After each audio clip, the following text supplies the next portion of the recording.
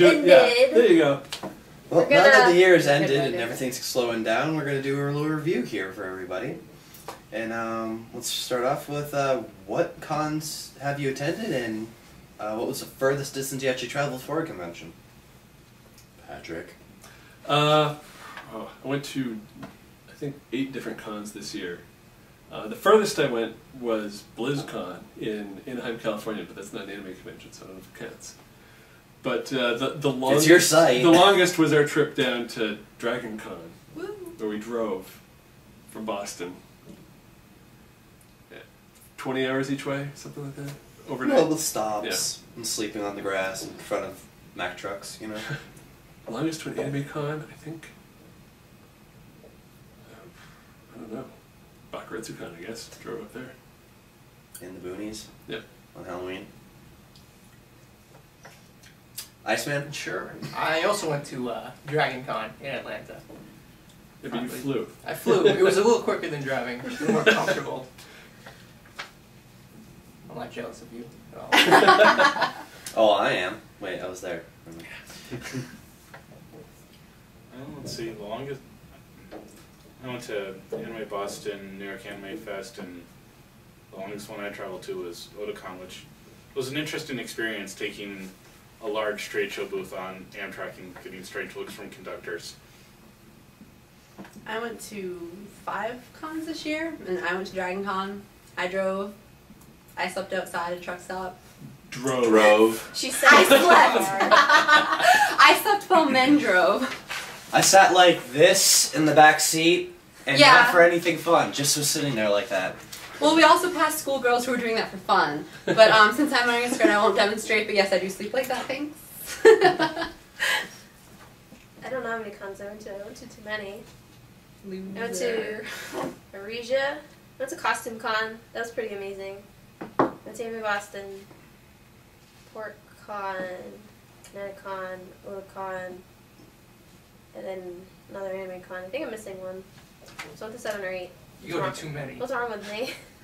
If only, there Oh, was some, if only there was oh, some way, some place you could track these. I There's know, some that's so website. That convenient. would be like a planner. The furthest I traveled was to Dragon Con, and then I drove to Costume Con, which is in Timonium, Maryland, this past year, right outside of Baltimore.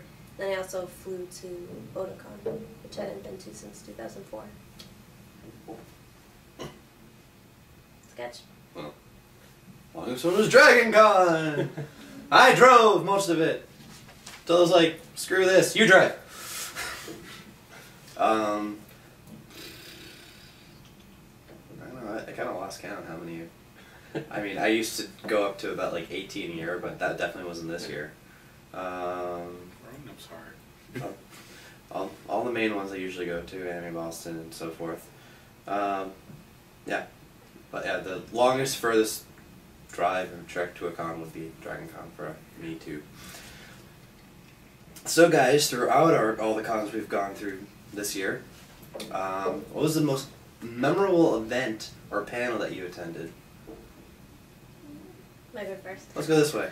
Um, I think the most memorable event for me was the sci-fi and masquerade, uh, sci-fi masquerade, sci-fi and fantasy masquerade. That's what it's called at Costume Con. Um, it's definitely the best masquerade I've ever seen.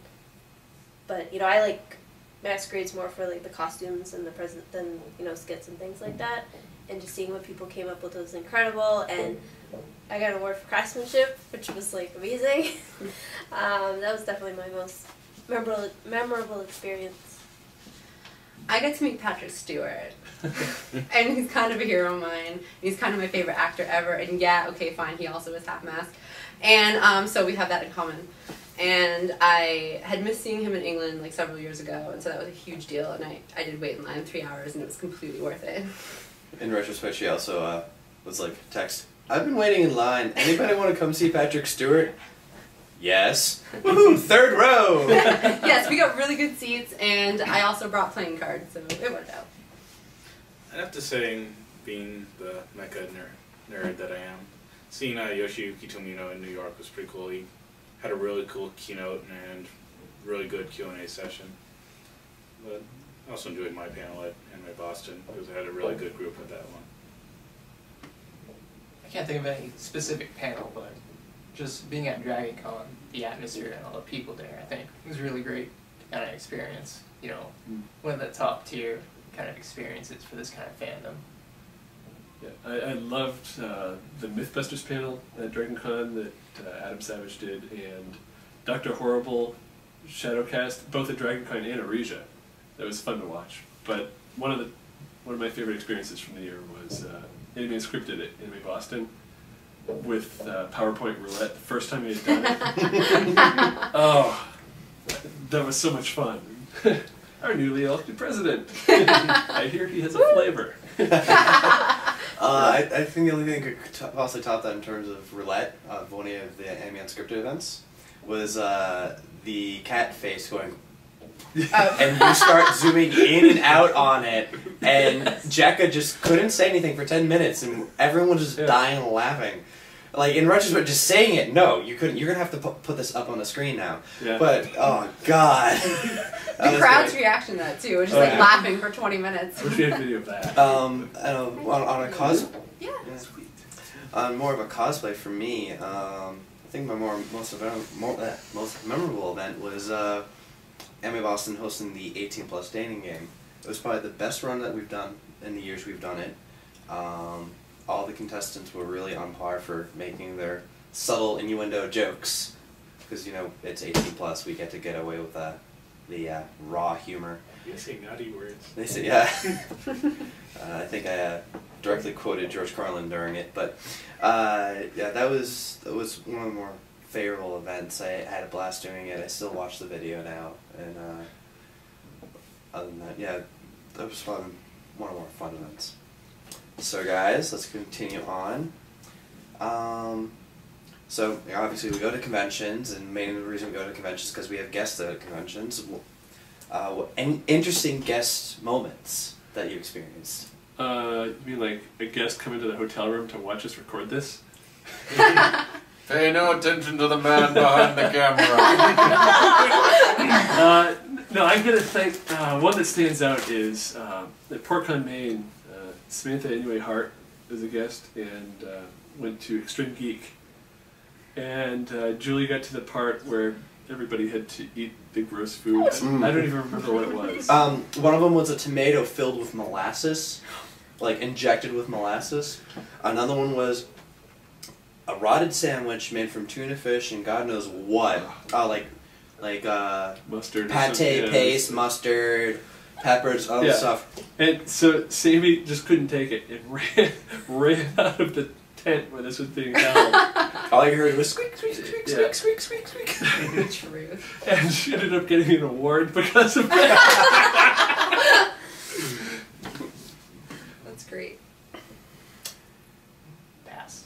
That's He fine. doesn't care what fine. your guess. That's fine. I don't Well, I, I, I already mentioned Yoshiyuki Tomino, but uh, one of the other neat ones was just running into Chris Ayres when I was helping him I do facilities work for Anime Boston and helping fix his hotel room pro- uh, problem. He was just very grateful, and it was just a nice experience and kind of have a break from the stress of staff work and just having someone say genuine thanks really kind of made that day so much better for me because I was so busy. Yeah, I don't really hang out much with guests, but um, I guess Well, hang out, you go see them at their I panels, asked you. I don't get go to a lot of panels. I don't go to Stewart. panels. Yeah, well, yeah, well, other than trying to rape him, um, No, it's true. I saw it. I didn't pass out though. That was really a plus. That was a huge plus for me. Um, no, I guess uh, we worked with Christina Vee at CanCon at Anime Unscripted. She was hilarious. Oh, I called she her was such a Michael. Jackson, and she did like the whole dance for me. It was fantastic. I was like, give her major props. And, And- then we, And then whenever we did bump into her, uh, Yeah, she was like- she was like, "Oh my she god!" so drops excited. everything and wanted to talk. yeah, she was us like, oh my god, these are my Unscripted people. Let me give you a hug. She was amazing. um, and then Tiffany Grant at PortCon really like cried over my bald spot. Um, yeah, at, at Anime Boston, uh, we won Best in Show, but as a result, I lost a whole chunk of my hair right here from my wig. And Tiffany Grant checked it out for me, and she freaked out and she started crying because she said I had gorgeous hair and she felt really bad. I'm like, thanks, that makes me feel so much better.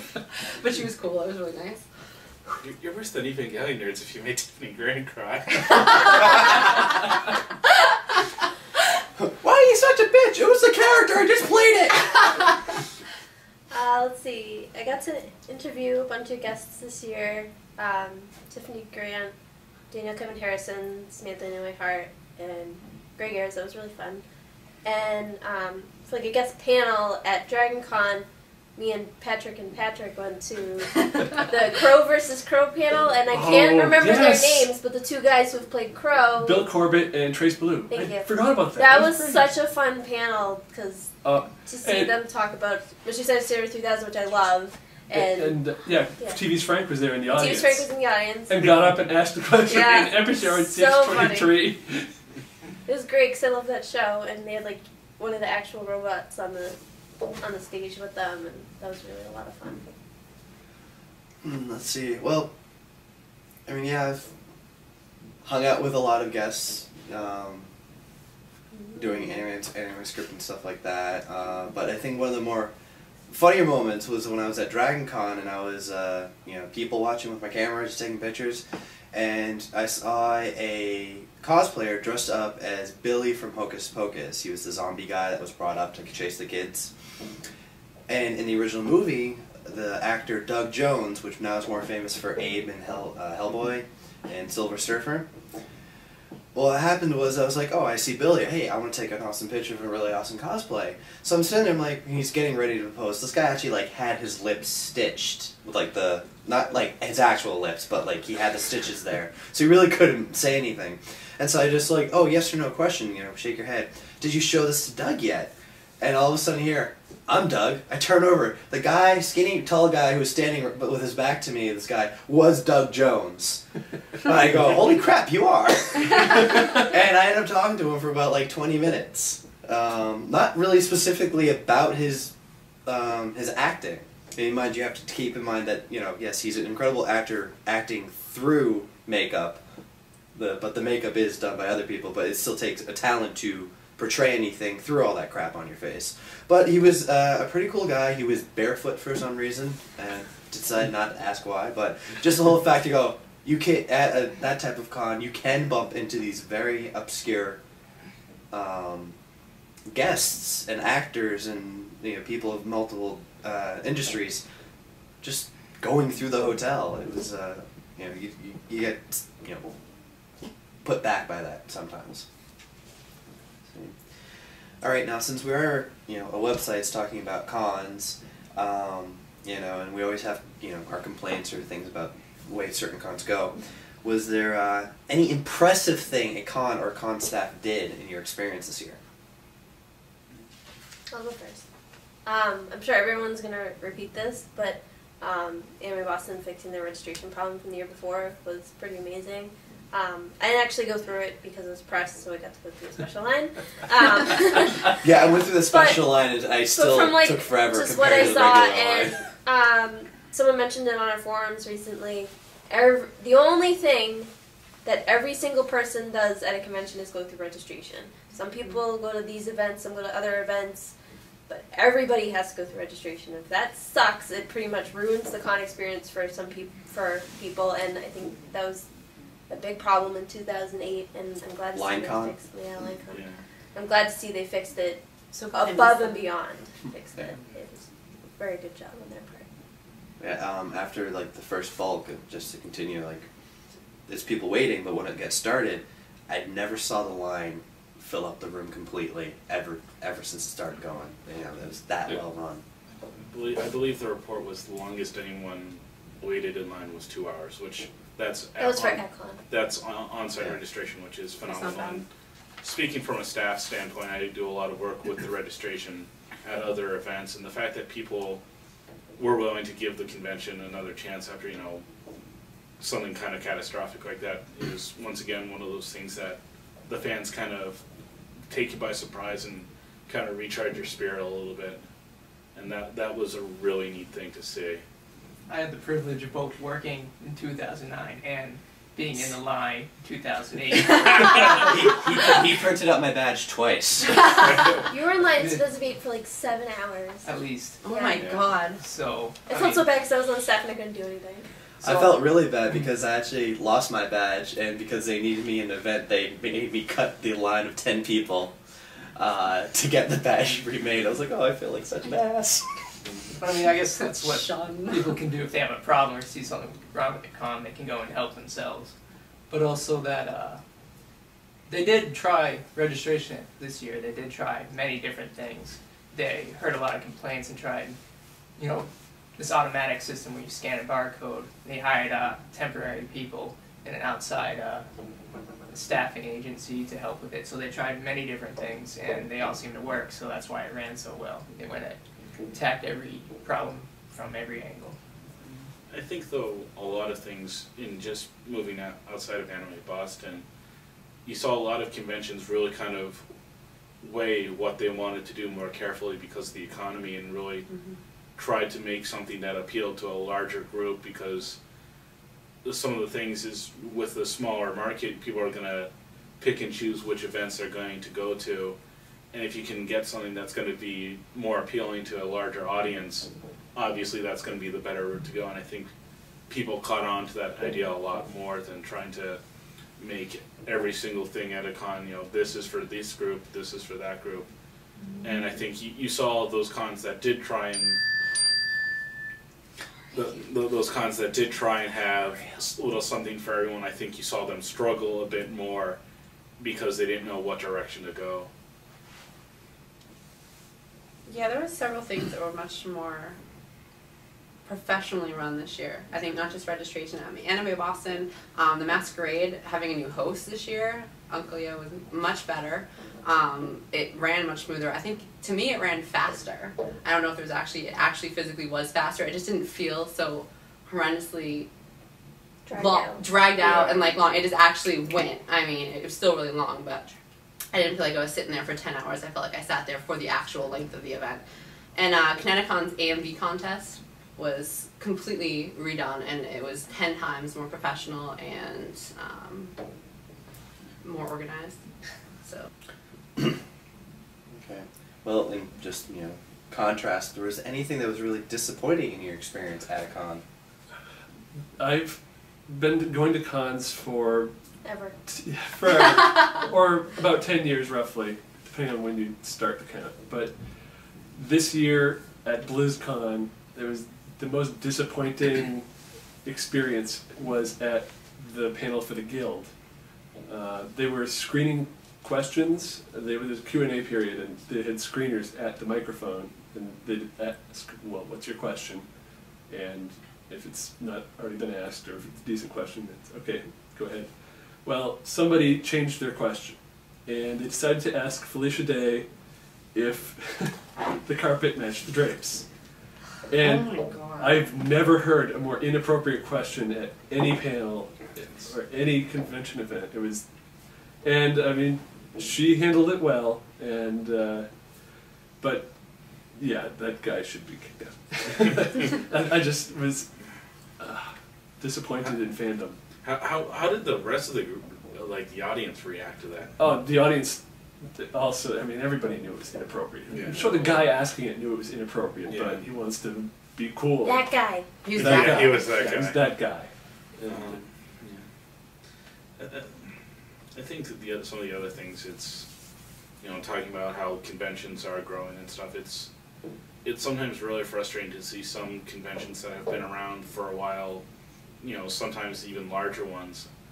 I mean, the, the example I say is New York Anime Fest, which yeah, it's getting absorbed into New York Comic Con, but seeing a lot of the same mistakes they had made two years prior when I had gone and it, it's it's really frustrating from a attendee standpoint to see the same mistakes being made when they are easily fixed and things like that.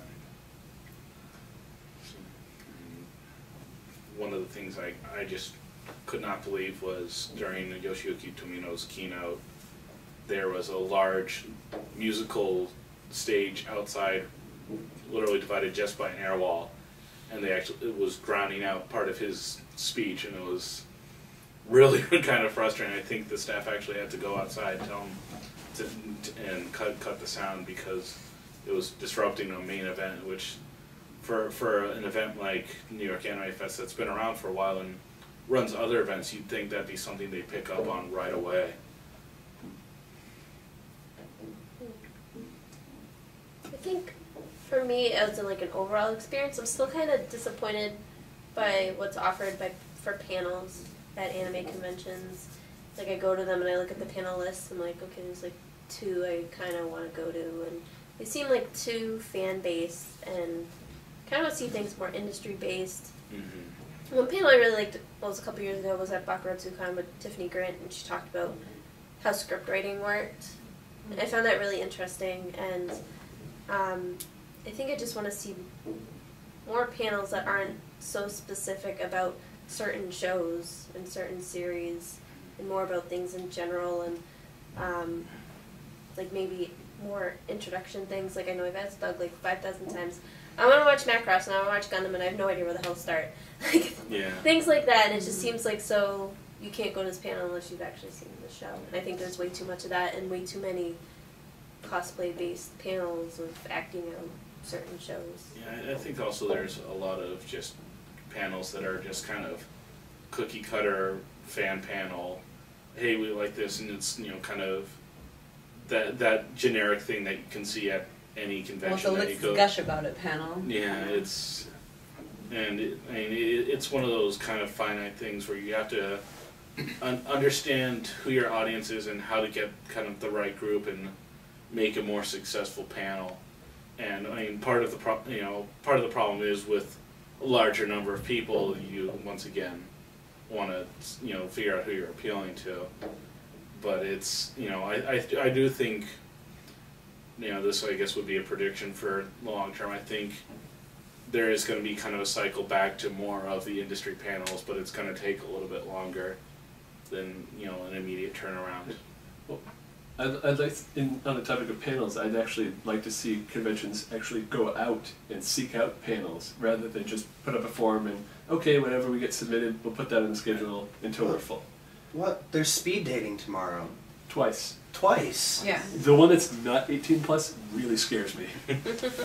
Yeah, that's that should be illegal.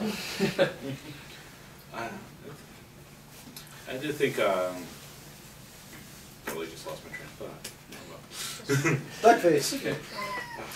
And now, Back now by, by saying dog face, you make make a dog face. Duck face. All right. What's the Well, next one? well, but honestly, throughout the year, what is your favorite convention experience? Dragon Con. Dragon Con. The whole thing was one. Well, no, actually, um, um, actually, Hooters, dressed up as My Little Ponies. Yes! we went Free to- beer! that can go to that can go to the next one. Um, actually, I really need to get to Dragon. As awesome as Dragon Con was, my favorite convention experience was Costume Con because I am a costumer, and you know I started cosplaying when I went to Otakon 2004, and then I, you know, didn't go to conventions for a while, and then got back into it in 2007, and you know I'm in 27, and I'm like, you know, how long can I dress up as anime characters and make stuff and things like that. How long can you? and going um, going to Costume Con, where I was one of the youngest people there, and um, you know it's definitely not all anime characters. They love the anime and the cosplay, and they definitely want to see more of it. But it showed me that I can keep costuming forever. Like I have friends through Costume Con and through the International Costumer Guild, which I'm in, you know, who are my parents' age and older than I consider my friends, and they make am- amazing costumes. And it kind of, you know, showed me I can do this forever. Yeah, I can't dress up as Cardcaptor Sakura when I'm 35, but I can, you know, create some original design or find a character I like that is age appropriate and still wear it to something like Costume Con or a sci-fi con like Arisia or Dragon Con. I think that was that was a really good experience for me to have. I think probably the reason I like Dragon Con so much was partly that is that you know I'm I'm old. and that, I know Patrick's old, but I, old. older. We're older, and I think because we didn't have um, a certain convention this year for 21 plus people in PAC, um, shirts, yes, that we need to do again is that you know the age group at conventions is just really young, and you feel really old, and you feel really like oh my god, these people need to shut the hell up. and so you just don't enjoy it as much. But then you go to Dragon Con, people are older. Um, it just it's a different kind of atmosphere. Plus down south, we found out people were really into her whole costume hobby, like in a way, even in public, that had nothing to do with the con, in a way that they aren't up in the Northeast. Well, they were more interested in understanding what we were doing, and they were very accepting of Yeah. what we were doing. I mean, we met like we went to Hooters. We met a football team, and they thought it was the It wasn't a coolest. football team. They Well, they were were I- they were I- football I- fans. I feel like there's like a joke that's like Well, waiting to be told here. The- well, here's the thing: is they were a bunch of people who were Virginia into Tech. they were into football enough that they came from Virginia to Georgia to see their team play. So it wasn't like they're casual fans, and they thought it was the coolest thing they'd ever seen. Um, and I think also is that I've always been a science fiction fan first.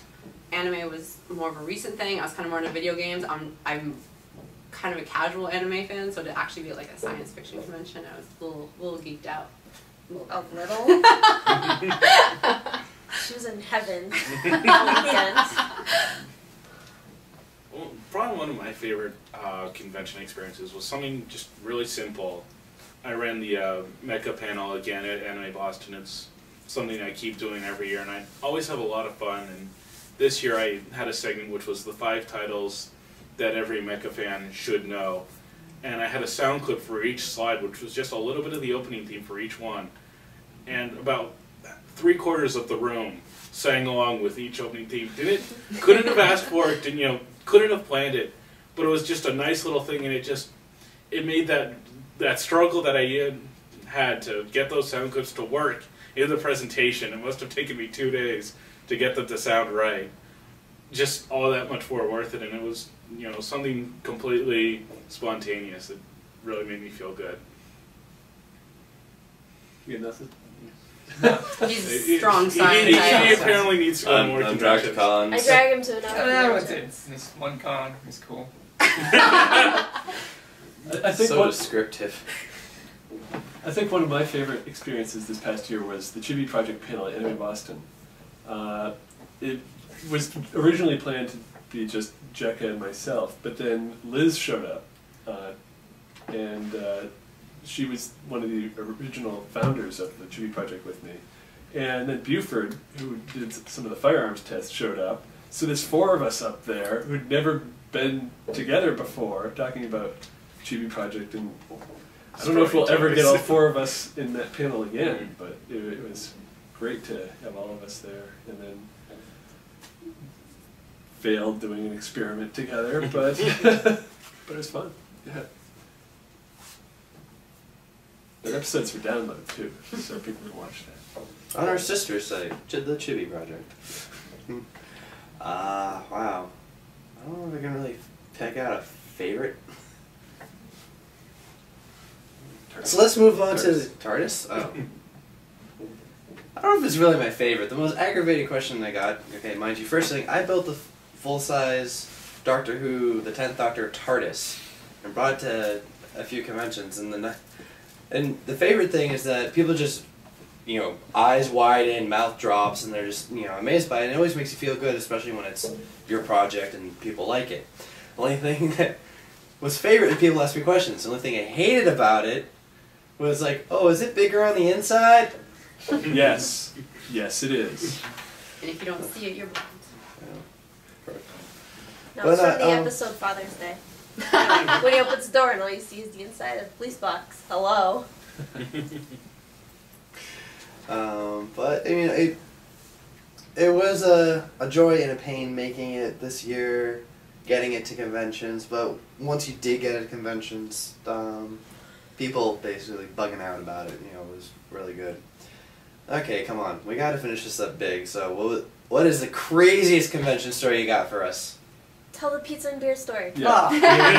oh, that was pretty good. Wait, wait, let, me get, let me get my beer ready for this. We were, we were at ConnectiCon Saturday night. You know, it was pretty late, 10, 11, so people are That's kind not of. late. It's not late at all. You're tired though. I said kind of. You're a little hungry. A little, a little hungry, a A little, little bit of the munchies going out. a little wired, like most people around. So we order pizza, and you know, it goes right to the hotel. So you just go down the lobby, and because so many other people got pizza, the guy came with like ten orders, and our, ours was on the bottom, underneath a smaller order. so our large pizza got mushed. So I'm like, come on, guy, you want to help me out or what? so he's like, yeah, yeah, I'll just uh, free pizza for you. I'll bring it back next time I come around. I'm like, cool. So he got a center sticks and a pizza with half the cheese left. And we were heading towards our room, and this guy who is either stoned, drunk, both, I don't know. and he's like, comes out with a plastic bag, and he's just kind of looking at me like, you guys got, you guys got, okay, I'm got pizza, bro. he's got a little bag. He's like, oh yeah. He's like, I'll give you some beer. And I'm like, I think we can make this work. so I'm like, I'm sorry, it's a little much. Beer, like- you say? He's, I'm sorry, it's a little much. He's like, ah, it's, it's good. So you know, a six pack of beer for That was over. half of a free pizza. That you know, we got a free pizza later, so I think it worked out pretty well. So we got a six pack of beer for nothing. Your pizza came later. It's awesome. and you haven't. But the only downside was we had ordered already ordered beer through room service. So we already had like twelve beers and then we had six more and we're like, F. Oh well. And you Maybe didn't more call beer. me. Is that a bad thing? Maybe you thought. You, you didn't call anybody. You just You kept it guys were dead. Yeah, You true. guys were dead. Um That's how she got to heaven at drink. Oh, crazy see how it works. commercial stories. That was lame. I had one and I forgot it. Mm, I'll come back to you. They'll come back to me. I should have written this stuff down. You said Tiffany. I failed. crazy, crazy, crazy, crazy. Yeah. Nothing too too crazy. Hmm. I think um, one of the crazier moments for me was at Otakon this year. Saturday night, a lot of I know a lot of people that run the main event. So after the masquerade was done, we all descended upon one Irish pub in the Inner Harbor, and promptly racked up a uh, five hundred dollar bill. And but uh, most of us were from Boston, and they. Uh, they had a live band going on Saturday night, and they asked, you know, is anybody here from Boston? Probably spotted one of our shirts, and you know, we all pipe up, and so they start si- playing Charlie on MTA. So you've got about twenty of us in the middle of Baltimore, you know, exhausted from working the masquerade. You know, a a little, some of us half drunk, some of us fully drunk, all singing at the top of our lungs. You know, Charlie on the MTA. some of us, you know, inserting uh, Dropkick Murphys version. it, it was just a really great experience and uh, just complete out of the blue. And I, th- I think we paid paid the rent for the uh, the, bar, the bar that between that night and then when we went back the another night and did another five hundred dollar tab. Otakon, brought to you by the fine folks of Anime Boston. uh, at AAC, another anime con in Nashua, I decided to compete in Anime Jeopardy, and um, I dominated quite a bit. And because they because they think the two people I were playing against are like ten years younger than me. you call yourself nerds. And You're three of, the not quest- nerds. three of the questions were Sailor were Sailor Moon related. So yeah, I kind of dominated. As in, like at the end where you bet in Final Jeopardy, I didn't have to bet anything because they had they had less than half my score. Oh. Jess, I think you need to elaborate on your bald spot story a little more. Oh. 'cause you um. kind of alluded to it. Okay. Well, She told it was. Well, I kind of told it. I mean, we're in, we did the masquerade anime in Boston. If anyone saw it, it was a Sailor Moon circus skit. Um, and I wear a lot of wigs, but I don't wear we usually wear wigs without bangs. And so it, it was bangless, and it was a short wig, and I had a huge wooden headpiece that weighed like ten pounds. And so I was flipping out for weeks trying to figure out how is this going to stay to my head without you know staple guns. Um, and I have to do like you know lean back and, and dance and everything. And so a friend suggested to me, why don't you put combs in it? Okay, it sounds like a good idea. So I sewed combs into it, and so I wore it. It worked perfect. Nothing happened, but it did. It was uncomfortable, right here. And then by the end of the night, I was joking. I was like, guys, I really need to take this off. I think my scalp's bleeding. And I went back to the room and I took it off, and it was bleeding. and then and I turned it on, I had a huge lump, like goose egg, right there. And I was like, okay, well that that that's weird. Okay, well it will, it will the swelling will go down. It'll be fine. Until two weeks later, it scabbed over, and then it fell off, and then it had no hair. and so I had like a half dollar size bald spot right in the center of my forehead, and you can still see that this is very short, right here. I have fluff, but it's back, so I'm not going to complain. But for months, it was very obvious, and everyone used to love to point it out. But hey, it grew back. Tiffany Grant. But I won a giant cup, so it was totally worth it. Not really a great story. Alright, guys, to close this up, um, going into the next year, any good predictions for 2010? Hopefully the economy will improve so I can go to more conventions. Nerd. Nerd. Uh, Um, well, I'm going to KatsuCon for the first time. I'm Hopefully going that'll go with her. Yay! Uh, I think uh, at some point in 2010 we're going to see a convention, a, a fairly 21 major. Plus convention? I think we're going to see a fairly major convention uh, dissolve. Really? I, I'm going to go out on a limb and make that prediction. I don't know which one, but I think there's going to be one that's it'll either. I mean, besides New York Anime Fest merging with Yeah. New York Comic, I mean, we're going to see something just like, yeah, Vanish. Completely go. One, one of the big ones. Do you have a certain area of the country you think that's no? No, I think. I don't know. Just odds are with Yeah. the economy. Yeah. I, I'm just. I'm seeing so many cons appear, and then I don't know. It seems like a lot of staff are kind of spreading out to smaller cons. And I don't know. That, that's what I'm thinking. I'm hoping there'll be another 21 Plus convention. Yeah, I'm hoping that too. I'm hoping that three. Welcome to our opening ceremonies. Bars are in the back. That was epic. That was amazing. And I Oh. couldn't drink it. Co- sorry, another convention story. We're in line for Dragon Con to get a registration pass, and you could buy beer. You can buy beer. Oh, You can buy beer On the streets. on the, On the street, On the street corners. waiting in line for a registration. Big pass. Come on. If I have to quit my job, I'm getting to this. I, remember, I took that picture of you and Patrick something. This is the most epic line ever. Click. Yeah. Southern hospitality. Southern hospitality. Yeah, and they also they don't just sell beer. They sell like wings, fried chicken. I, I- I think we're gonna see guests get even pickier about what conventions they go to now because there's more, and you know they just have to choose as much too and be able to more choosy. So I think some of the conventions are gonna kind of shrink the scale of how many guests they bring and things like that. That's my prediction. I think attendees are too. I mean, it used to be you had your like mm. one con locally, and now there are so many that are easily accessible to get to. You can mm. actually pick. You don't have to go to one just because it happens to be close to you. no predictions. Uh, Make some prediction. So a year from now, we can look back on this. I predict I will go back to Dragon Con. All That's Yeah, a yeah. lame prediction. come on, What? Something go on crazy. a limb. Some, What, something. limb? Go on a limb. You already know the, of a hotel room. Of course you're going back to Dragon Con. Well, not- Jump on Make some crazy prediction. Something. Something crazy like Like Nostradamus. Yeah. If you get it right, we're gonna see. We're gonna be like, whoa. You can be like Johnny Carson with a big hat. Um, It's um, um, um, the envelope. The envelope right here. Yep. A prediction from Johnny Carson will show up at an anime convention. He's dead. Ghost. but if it happens, If he shows up, I'm leaving. hey, hey, Scotty made it to Dragon Con. He did, and for five, okay, there's a guy dressed up like Scotty at Dragon Con, and he was so good for five seconds. I was like, oh my god, I didn't know he was gonna be a guest, and then I was like, oh my god, he's dead. You got anything? No predictions. I'm gonna win the masquerade. Woo! You'll be an elite cosplayer. I am an elite cosplayer.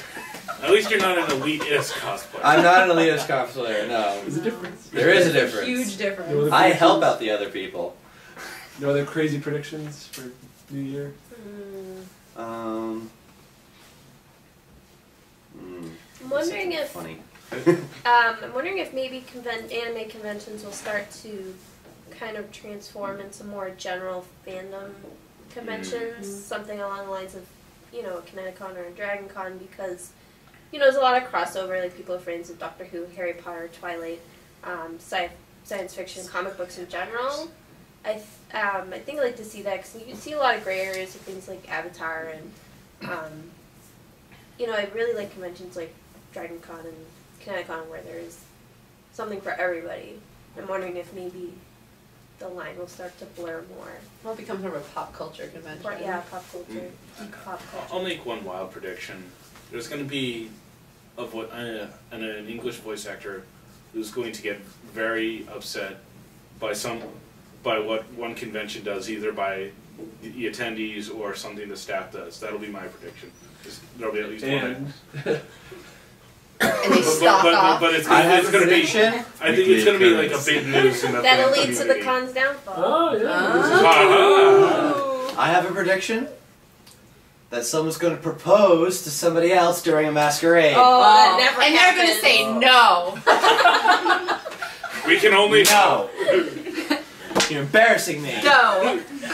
This isn't romantic. I have a prediction that someone, and if they aren't planning it now, start a 1980s nostalgia convention because we'll all go. and I will bring my My Little Pony costume. Let's start it. Yeah. We have nothing else. And we can do a Rainbow Brite panel. Adacon. All right. Let's AnimeCons.com's review of uh, 2009. Woo!